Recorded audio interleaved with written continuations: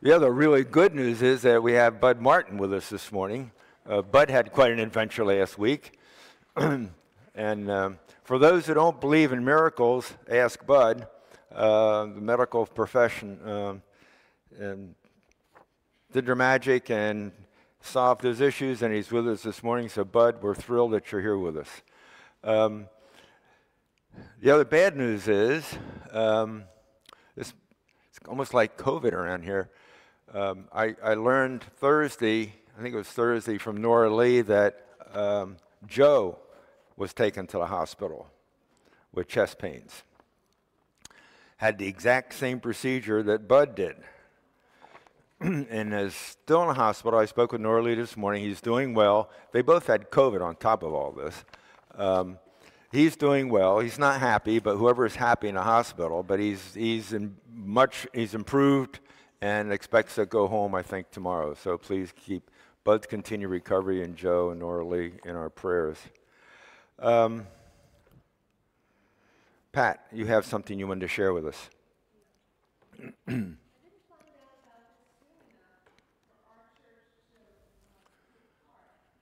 From 12 to 4 today. Can you hear me? Okay. Does this work? Okay. Saying I didn't find out about this soon enough for our, class, our church to participate, but um, Frank Pintabone, who's one of the um, people on, our, on the council, town council, every year around this time of the year has what they call a back to school rally. I didn't know this, maybe some of you did, but it's today from 12 to 4 downtown in Scott Park and they give away free book bags and supplies, free haircuts, free manicures. The high school drumline is going to be there, uh, and there are tables set up by various churches and so forth to give away things that the kids need for school. I think it's fabulous, and I, I hope that we'll participate. But this year we can't participate, but we can certainly visit. So I was excited to let you know about that. And the other thing, of course, is that Breaking Bread, my, our, our, faithful Breaking Bread people, we have a meeting. Go downstairs, get some coffee, get a cookie, and we'll have a little meeting, not very long, to set up for the next Breaking Bread. Oh, this week's brunch bunch. Sorry, it's next week. Okay, that's fine. I messed that up. Yeah, it's next week. Okay, thank you. Okay, brunch bunch today, as we've just noted. um, I'm looking at the announcements, full two pages, always good news. Um, Third Street Alliance, they're not in moving in yet, um, but we we expect, you know, they're still sorting out wrinkles. We're still wrestling with uh, language on the lease, um, but it's moving ahead. So it's it's just a matter of time, probably in the next week or two. Um, breaking bread on save the date coffee hour after church. Um, blessing box. You don't need to bring food. There's food in the pantry. There's instructions here in the back. Finally, lots of reminders, lots going on, meetings coming up. We're busy and active. So, with all that said, let's greet each other. I'll wave. passing, passing passing the peace, Jesus Christ. Peace be with you all.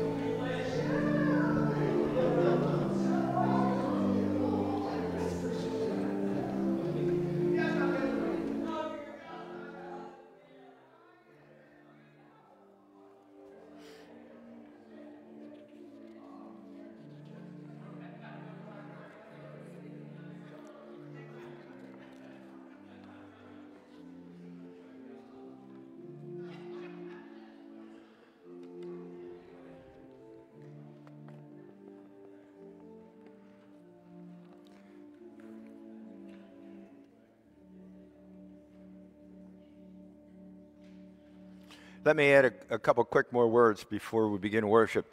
Um, Shirley asked me, uh, Joe's in Muhlenberg. Um, I would, I'd give Norley a call first, but if you want to visit, that's where he is. Secondly, uh, we received another $500 towards our air conditioners, another anonymous gift, which takes us to $18,500. Praise the Lord. Thank you. Thanks.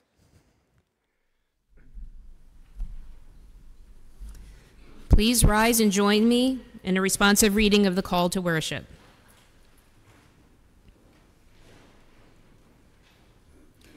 I will bless the Lord at all times. The Lord's praise shall continually be in my mouth.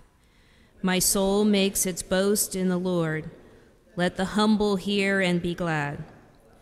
O magnify the Lord with me, and let the earth exalt his name altogether. I sought the Lord, and the Lord answered me, and delivered me from all my fears. Look to the Lord and be radiant, so your faces shall never be ashamed. O taste and see the Lord is good. Happy are those who take refuge in the Lord. Come, let us worship God.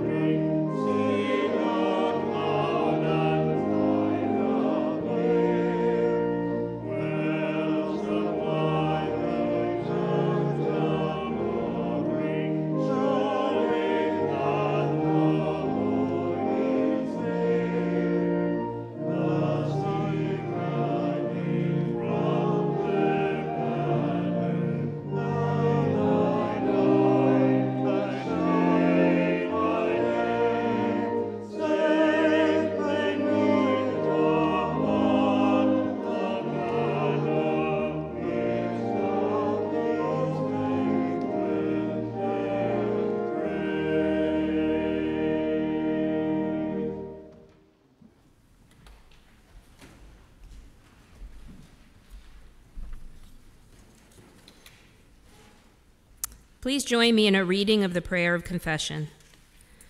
Glorious things of you are truly spoken. O Lord, giver of grace, which never fails from age to age. Yet we confess this morning that there are moments when we struggle as we wander through the wilderness that seems ever present. At times, loneliness permeates our days, and we wonder if you are near. Perhaps a recent failure or significant loss in our lives leaves us feeling hopeless, and the evening news only seems to stoke our concerns for the world and our fears for a brighter tomorrow. Lord, as with Elijah, send your Spirit to touch each of us and assure us that you, O Lord, are always a constant and affirming presence in our lives. In Jesus' name we pray. Amen.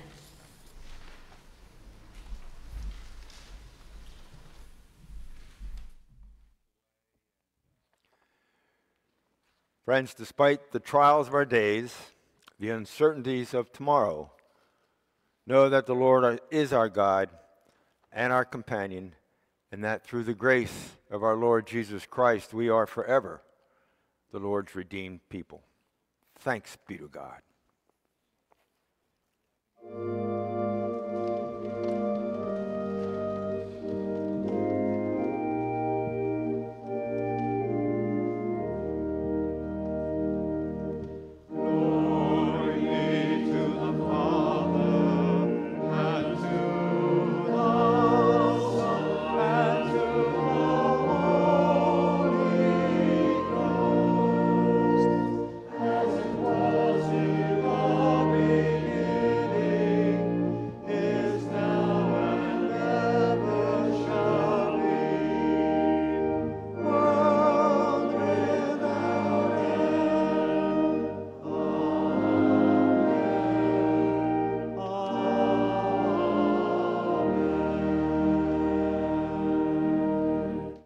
seated. a couple of you came in late, so let me explain why I'm keeping my distance. I'm not normally a shy person. Um, Angie tested positive, positive for COVID. I'm fine so far, but I want to keep my distance, so that's why I'm up here and you're there. We're going to leave it that way. And Caitlin, my dear, I'd nothing more than have you come up and help me this morning, but um, I'll have to try to do it by myself without you. I hope I don't screw it up. Anyhow, here it goes. What's in the old bag today? Well, let's see. Our uh, scripture talks a little bit about wilderness this morning, and uh, so I was rummaging around to see what I had. if I were in the wilderness, and by golly, you know what I found? My old Swiss Army knife. What a great tool for being in the wilderness. I mean, it's got a little bit of everything in it, doesn't it? I mean, well, holy cow, is a can opener. Now, there's something you need in the wilderness. And what else do we have here? Um, oh, it's a Phillips head screwdriver. Well, I'm not sure what you'd use that in the wilderness for, but who knows, right? Um, what else we have here? Oh, looky here, magnifying glass. Now, you know, if you were studying something, that would be handy. I'm not sure why, but it would be. Uh, what else is in this thing? Um, oh, a pair of scissors. I don't know. You might need them in the wilderness, whatever. Oh, and then finally, well, there's more in here, but we go on all morning with this darn thing. Mm. A corkscrew, just in case you found a bottle of vintage bottle of wine while you're drifting along in the weeds. Anyhow, so that would be a handy thing in the wilderness, but even more handy if you're in the wilderness.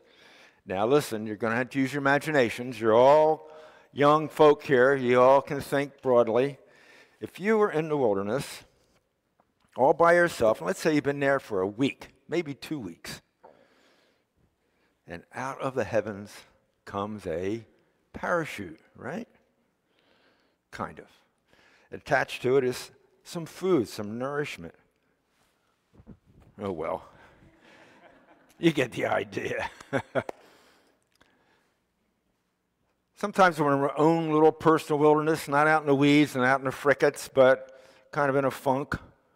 Um, we need to look to the heavens and look for that manna to come down, that manna in the presence of God, kind of put his arms around us and nourish us, and make us feel better, and help us understand that, well, a little dim today, bright sunshine coming out tomorrow. Believe in that manna. Pray for that manna. It'll find you.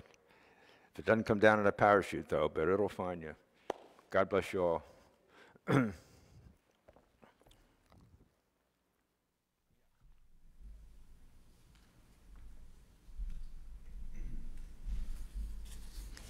The Old Testament lesson for today comes to us from Kings. In this morning's reading, the prophet Elijah, second only to Moses in the esteem of the Hebrew people, is in a funk. He has just, at God's command, virtually eliminated the priests of Baal, much to the extreme displeasure of Jezebel, the wife of King Ahab. Jezebel, in a rage, threatens to kill Elijah, so he flees to the wilderness to escape her wrath and perhaps life altogether. Hear now the word of God. But he himself went a day's journey into the wilderness, and came and sat down under a solitary broom tree. He asked that he might die. It is enough now, O Lord, take my, away my life, for I am no better than my ancestors. Then he lay down under the broom tree and fell asleep. Suddenly, an angel touched him and said to him, Get up and eat. And he looked, and there at his head was a cake baked on hot stones and a jar of water. He ate and drank and lay down again. The angel of the Lord came a second time, touched him, and said, Get up and eat, otherwise the journey will be too much for you. He got up and ate and drank. And then he went in the strength of that food for forty days and forty nights to Horeb, the Mount of God. The New Testament reading for today is from John. The pericope this morning follows from last Sunday. Jesus continues to speak to the crowds that trail him after he has fed them with five loaves and two fish and attempts to explain to them that he, Jesus, rather than a provider of physical nourishment, is the bread of life come from heaven. This comment provokes the crowds to wonder just who Jesus really thinks that he is. Hear now the word of God. Jesus said to them, I am the bread of life. Whoever comes to me will never be hungry, and whoever believes in me will never be thirsty. Then the Jews began to complain about him because he said, I am the bread that came down from heaven. They were saying, Is not this Jesus, the son of Joseph, whose father and mother we know? How can he now say, I have come down from heaven? Jesus answered them, Do not complain among yourselves. No one can come to me unless drawn by the Father who sent me, and I will raise that person up on the last day. It is written in the prophets, and they shall all be taught by God. Everyone who has heard and learned from the Father comes to me. Not that anyone has seen the Father except the one who is from God. He has seen the Father. Very truly I tell you, whoever believes has eternal life. I am the bread of life. Your ancestors ate the manna in the wilderness, and they died. This is the bread that comes down from heaven, so that one may eat of it and not die. I am the living bread that came down from heaven. Whoever eats of this bread will live forever, and the bread that I will give for the life of the world is my flesh.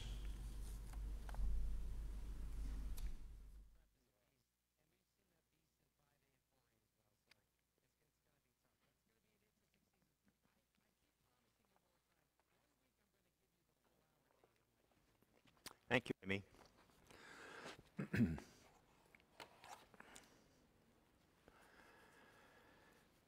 the hump.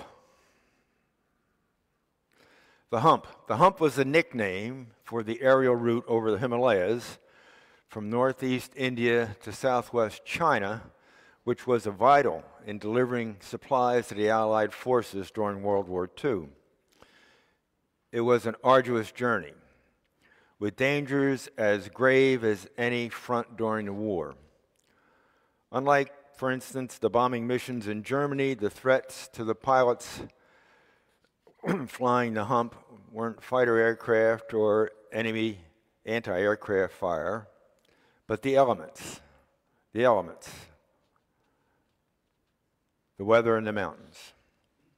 Winds of 40 to 70 mile an hour were not uncommon. In clear weather, they would be flying at 12 to 14,000 feet in unpressurized aircraft.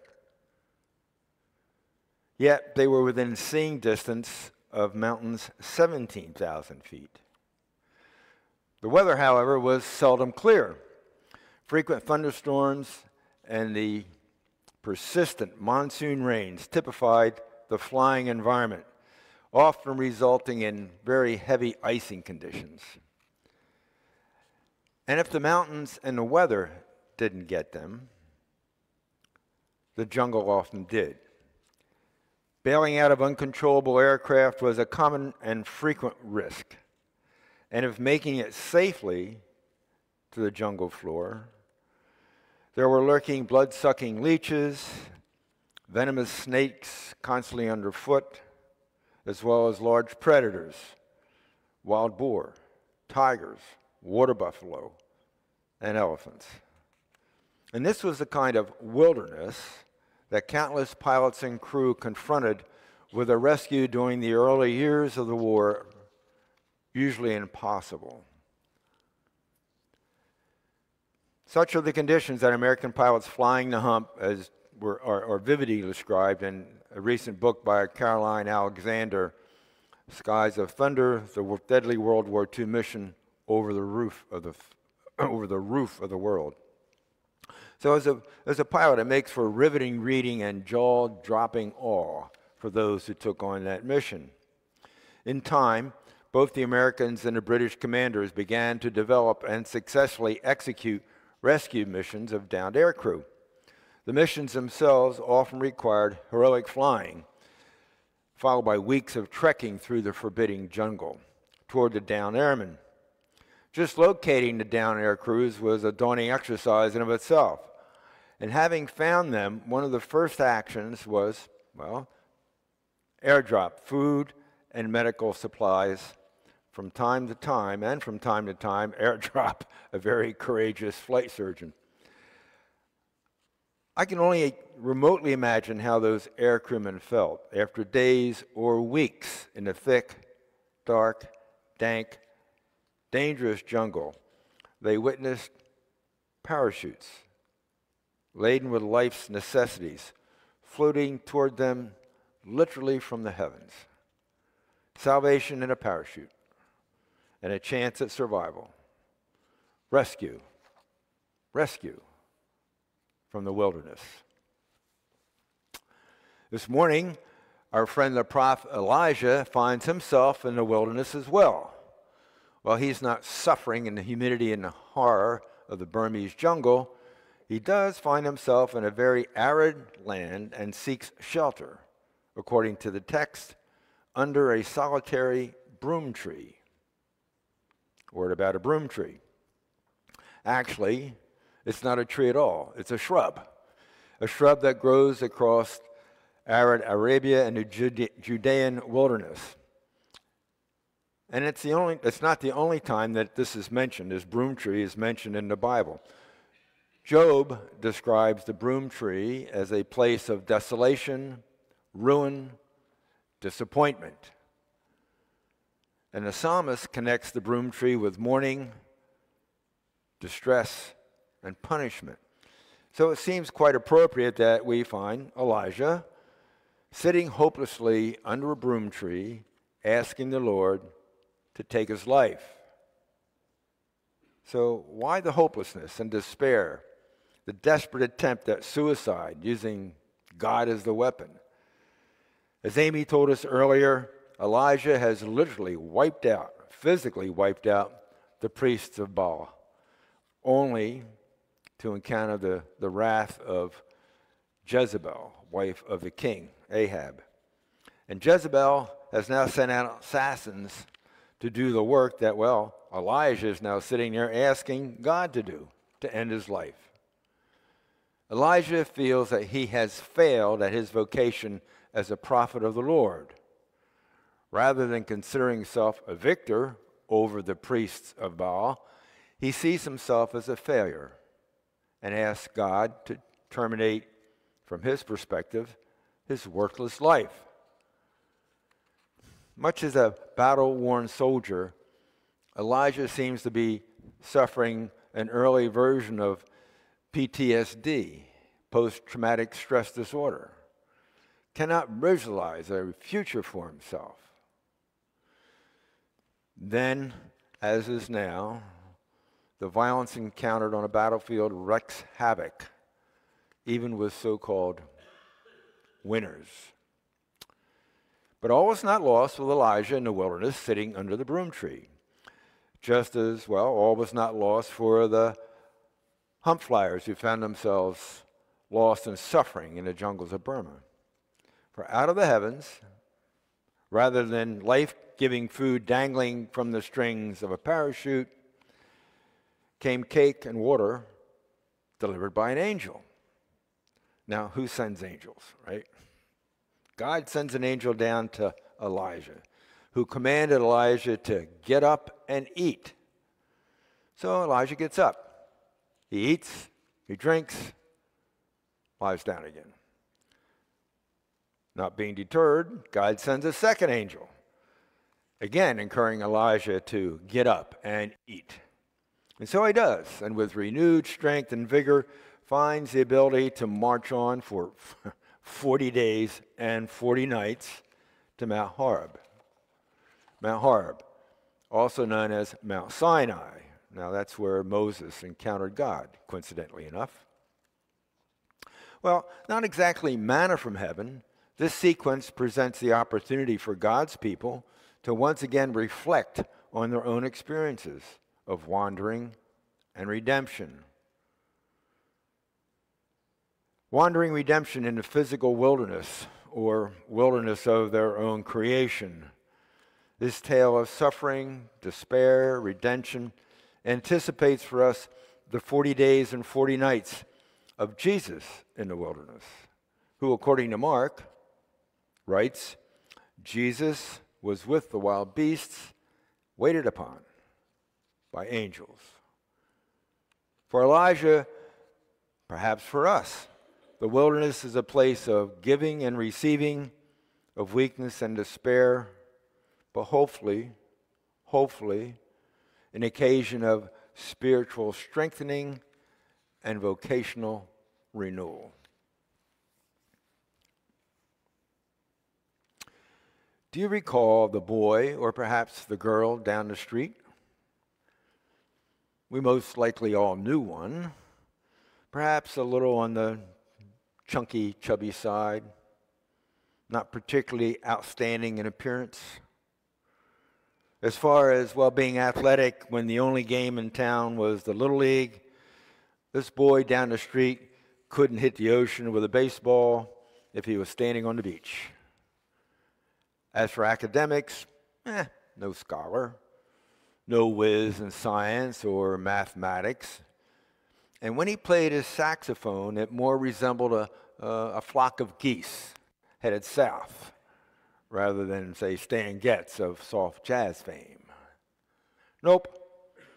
The boy down the street was, well, pretty easy to dismiss, if not to totally ignore. In fact, in fact, he was best known not for himself, but as the kid of a gifted and talented father and a mother of compassion and serenity. Time passes. And the kid down the street, who all thought was headed for a boring and mediocre life at best, now has a PhD in ecology, a particular expertise in forestry. He's a full professor at an esteemed university. He's written 25 books on recovery of woodlands. He has been a personal advisor to presidents and others on issues of recovering and preserving precious woodlands and tropical forests. The boy down the street. Well, who knew? Who knew? John tells us this morning about the boy down the street. Jesus, after having fed 5,000, is now trying to tell them, that same crowd that followed him, that there exists nourishing and redemptive bread other than that which comes from someone's oven. In fact, that he, Jesus, is the bread of life of which he speaks. Now, the members of the crowd who are looking for another meal of physical bread look at each other and essentially say, Jesus? Isn't he the boy down the street? Isn't he the kid of Joseph and Mary? You remember Joseph? Golly, Joseph. He could create anything out of wood. What a craftsman. And his wife Mary, oh my goodness, such a wonderful, compassionate, giving woman. But Jesus, the boy down the street, he was never the craftsman his father was. I mean, he couldn't drive a nail straight if his life depended on it. Now he's trying to tell us, convince us, that he, Jesus, the kid down the block, is the bread that came from heaven? you, you've got to be kidding. Well, I don't know about you, but, but I can kind of understand the skeptics in this audience, can't you? Jesus tells them that he, much like the angel coming to Elijah with life giving bread, something similar perhaps to the parachutes descending from the heavens, laden with food for those stranded airmen, that Jesus is the bread of life coming down from heaven. Well, I mean, it kind of seems understandable that those ascended, assembled rather in Capernaum might have had a hard time at first swallowing those words of Jesus. However, However, two words repeatedly used by Jesus as he addressed the crowds ring out to me, and I suspect rang out to those assembled Jews. I am. I am. Four times in this pericope, Jesus says, I am. I am the bread of life. I am. The same two words that God uses in conversation with Moses on Mount Sinai, is it not? In the wilderness journey from Egypt to the promised land. Moses asked God what he should call God when the Israelites asked Moses, What's God's name? And God responded, I am. I am. Tell the Israelites that I am has sent you, Moses, to them. This is my name. This is my name forever, and this is my title for all generations. I am. I am was not totally lost on those Jewish crowds who knew their Old Testament Bible listening to Jesus nor, nor were they, I think, used by Jesus without understanding their impact. Jesus responds to their skepticism and taunts with patience and also by revealing something quite startling to their ears. No one can come to me unless drawn by the Father who sent me, and I I will raise that person up on the last day. Two things here. First, Jesus tells the crowds and us that the opportunity to fully know him, that completely grasp who Jesus is, other than a boy down the street, that's a divine gift from God. That's a gift from God. We can work all we want to at trying to come to know Jesus. But in the end, that knowledge is a revelation from God. And they shall be taught by the Father, Jesus tells them. Everyone who has heard and learned from the Father, everyone who has heard and learned from the Father comes to me. Our comprehension and understanding of Christ is a gift a gift from heaven. Secondly, Jesus, well, initially in his readings from John in verse in uh, chapter six, a little kind of you wonder where he's going with all this. He finally, I think, begins to make clear just what the bread of life represents. Whoever believes has eternal life, he tells them. I am the bread of heaven.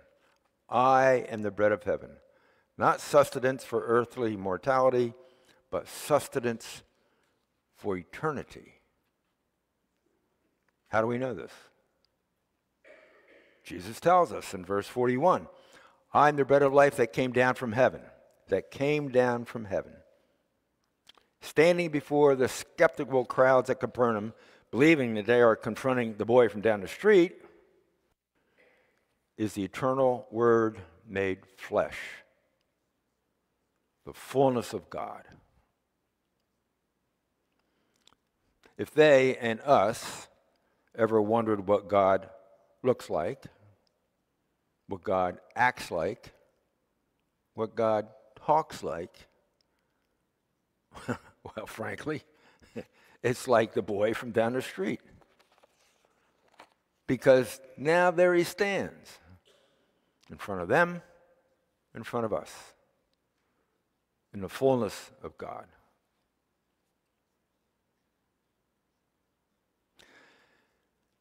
I don't know about you, but I kind of like my heroes humble, but I like my God gigantic, high, lifted up, distant, exclusively in heaven, not like the boy from down the street. I kind of like my God to be like the one in Isaiah. Isaiah writes, The Lord sitting on a throne, high and lofty, and the hem of his robe filled the temple. I love that image. Uh, Isaiah also says, The Lord, who has measured out the waters in the hollow of his hand, marked off the heavens with a span. yeah, here we are, from the Jesus perspective, with a boy from down the street, right? God in the flesh. Standing before them and us. I am the bread of life. Feed upon me. Can it be true that Jesus is the bread we need? Even if Jesus is rarely the bread that we seek? Is it true that God has come down to us from the heavens as bread. As with the angel feeding Elijah under the broom tree, as with the parachutes feeding the desperate airmen in the jungle with life sustaining food. But this food, this bread, this bread from heaven, sustains more than life. This manna dropped miraculously from heaven into our personal wilderness, taken fully into ourselves, we become survivors. We become survivors, not just for tomorrow or next week or next year. We become survivors for an eternity. Praise the Lord.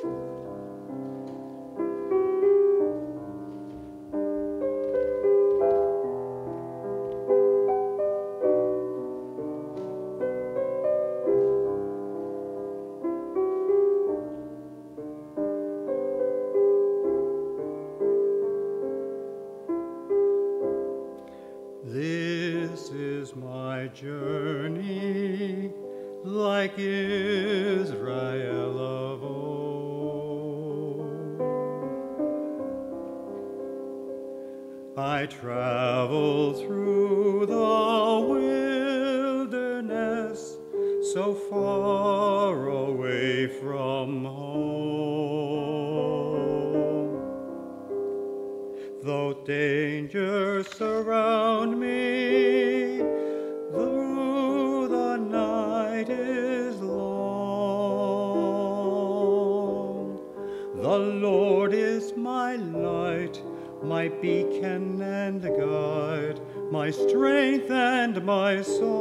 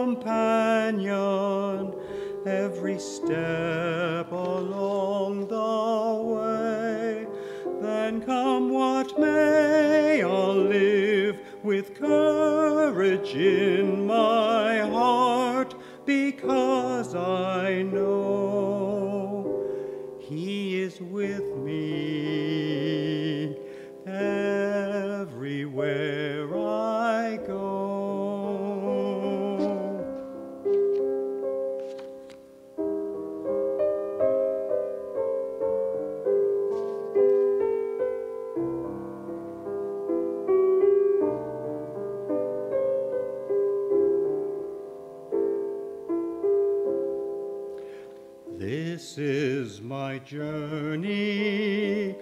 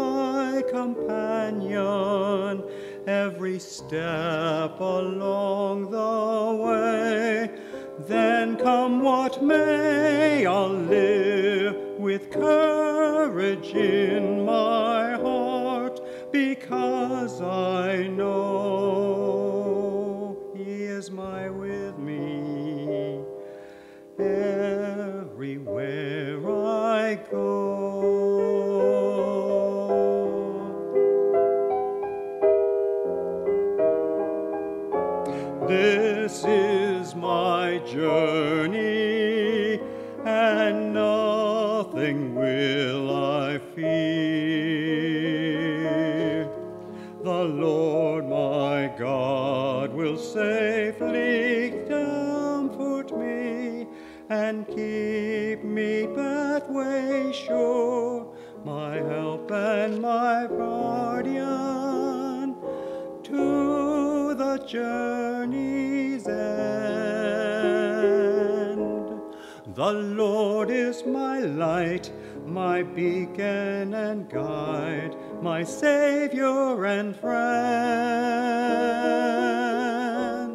and I will be strong.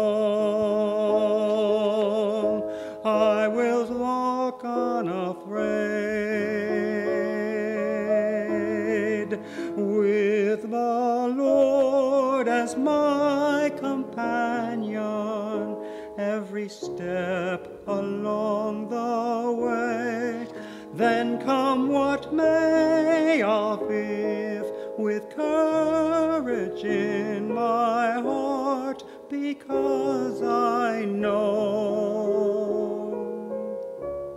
He is the Lord of heaven and earth. He is my perfect light of truth, and He will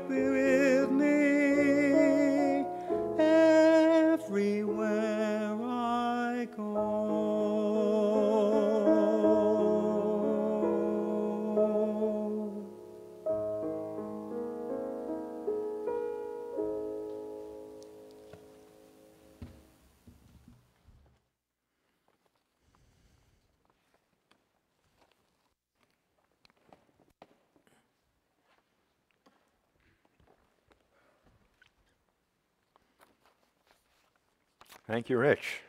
Thank you. Gloria, thank you.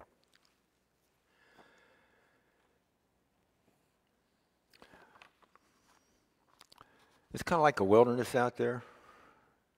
It feels that way to me sometimes, but you know, that's what happens when you get old and things move on ahead of you. Um, we have really two principal jobs here help people lost in that wilderness to find the bread of life, and to serve those people who are lost in the wilderness. You folks work awful hard at that, let me tell you. But we can't continue that, both those important missions, without the generous contributions of all of us gathered here. So please, to support the ministry of this church, your collection in either the boxes in the front of the rear of the church, uh, a check in the mail, electronically, however you wish to support the ministry here at First Presbyterian of Easton.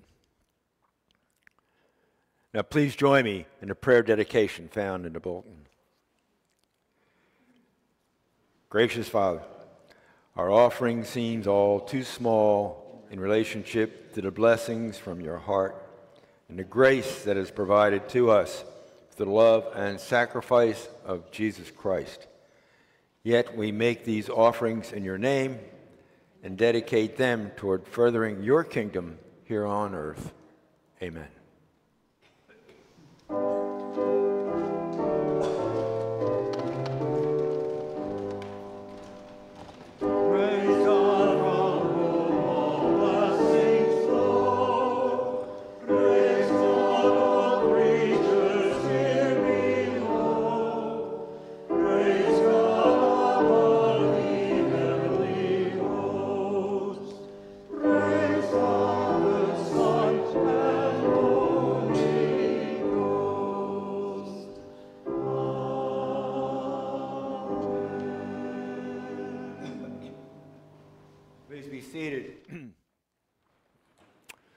Please be seated and, and join me uh, in a few words of prayer.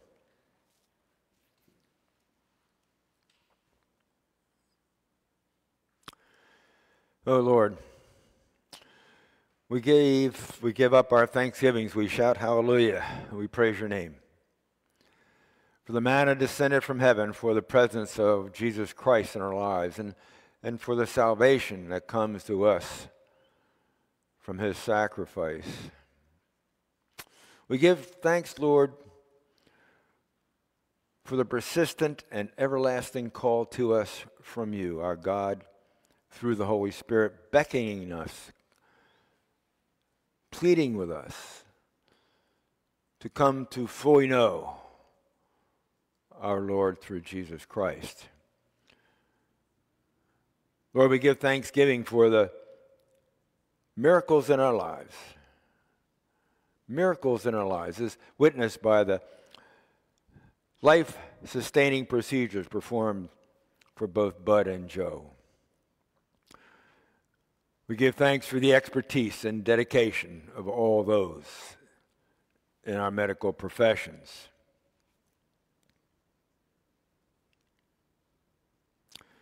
And Lord, we offer up specific prayers. We not only give thanks, but we continue to pray for Bud and Joe as they fully recover. For all, Lord, we pray for all we know who are suffering physically, emotionally, spiritually. We pray for, for healing. We pray for wholeness. We pray for all those, Lord, who are lost in their own personal wilderness, who find themselves in despair or hopelessness over any number of painful situations and challenges.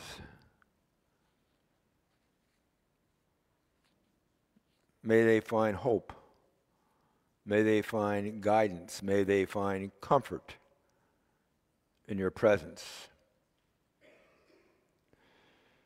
We pray, Lord, for all those in the world who suffer from hunger, who suffer from violence and disease. May they find nourishment.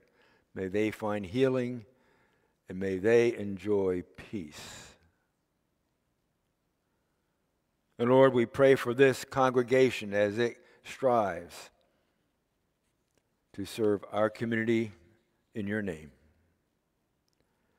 Now, please join me as we say together that wonderful prayer that Jesus taught his disciples, and they, who in turn taught us, the Lord's Prayer. Our Father, who art in heaven, hallowed be thy name. Thy kingdom come, thy will be done on earth as it is in heaven. Give us this day our daily bread, and forgive us our debts as we forgive our debtors. And lead us not into temptation, but deliver us from evil. For thine is the kingdom, and the power, and the glory forever. I'm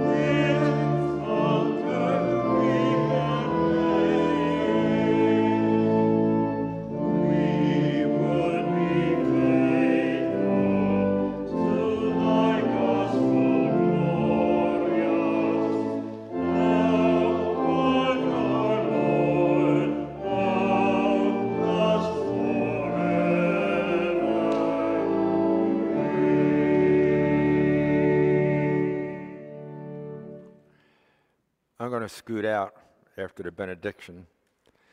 So I pray you all have a good week. Um, if you need to reach me, by all means, give me a call, text me, email, I'll respond. I plan to be here Tuesday on my regular day, so. I think we all find ourselves in a wilderness. I don't know when you find your wilderness. My wilderness usually arrives around 2 a.m. in the morning.